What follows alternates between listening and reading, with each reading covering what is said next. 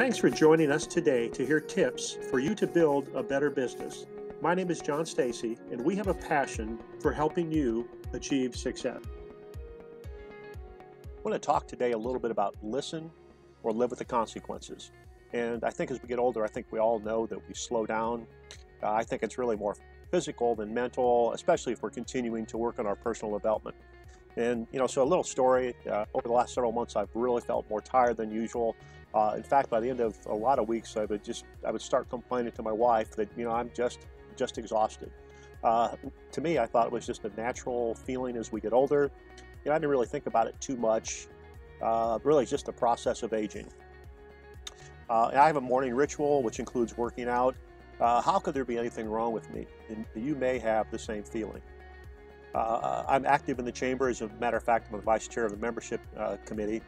Uh, and I'm very active, uh, and we implemented a new program this year. It was put into place uh, where members, uh, board of directors, etc., uh, we'd go to the place of business, we'd be handing out placards and thanking people for being a member of the chamber. But one of the members uh, I went to thank, I had met before actually, I helped on another board of directors and some coaching, but he invited me in to have a cup of coffee. And, and Jim uh, told me the story about him walking up the hill the previous December uh, and becoming extremely tired. I think he's uh, probably about my age.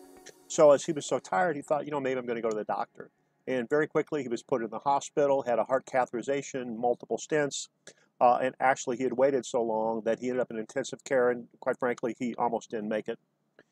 As I listened to him, and I was thinking about the symptoms that I had, I had the same ones uh, I spent some time thinking about what I should do because you know what? I can listen. I had options. I could listen to my body and learn from uh, his experience, or I could ignore it. You know, it's always easier to not take action. Well, over a period of time, I thought, a short period of time, and on that next Monday, uh, I actually called my wife and said, you know what? I'm not feeling well. Maybe you need to take me to the doctor. That was a signal to her that she knew that something wasn't quite right. So I met with the doctor, met with the cardiac doctor a couple days later. Uh, over the next week and a half, I took multiple tests, and I had after I had completed all the tests, I got a call on Saturday from the from the doctor saying, "Hey, John, uh, you've got a blockage, and we need to uh, take care of it right away." So, why do I tell you this story? Uh, to me, it's about listening. It's about listening to your body. It's about listening to your, your employees. It's about listening to your vendors. It's about listening to your customers. You know, we all have a choice. I had a choice. You have a choice. We have a choice as business owners to listen to all the stakeholders in our business. As leaders, there is so much we can learn if we take the time to listen and act. Or we can decide not to listen or act.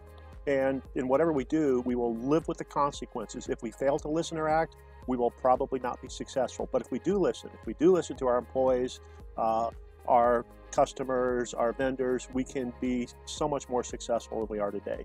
If you want to know something about what happened in the operating room, call me and I'll tell you the story. Thanks. This is John Stacy at Catalyst Strategy Consulting, and I'm really here to help you become successful.